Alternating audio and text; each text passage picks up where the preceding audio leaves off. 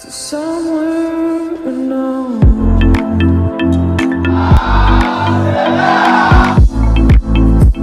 Enxergar que as pessoas têm necessidades recorrentes é, por meio de um exercício simples que a gente fez, abrir os olhos para justamente observar que nas coisas comuns do dia a dia a gente está sempre consumindo algo que volta a acontecer amanhã, depois, na próxima semana, no próximo mês, de forma recorrente. E observar também que isso é mais comum do que se imagina, abre o caminho, abre o nosso olhar para um mercado, um mercado da economia recorrente. Esse mercado que entrega para as pessoas o que elas precisam para obter uma transformação. E, como eu sempre digo, você tem algo, eu tenho algo, e todas as pessoas têm algo que alguém está precisando nesse momento, que vai ajudar essa pessoa a obter alguma transformação. Então, o bacana de hoje, Pedro trouxe, foi a maneira de olhar para isso de uma forma mais simples, mais focada, de uma maneira a identificar oportunidades de transformar aquilo que eu sei, aquilo que você sabe, em algo que ajude as pessoas a se transformarem de uma maneira recorrente, como já acontece, como na vida delas já acontece. E aliando isso às ferramentas, às táticas de negócio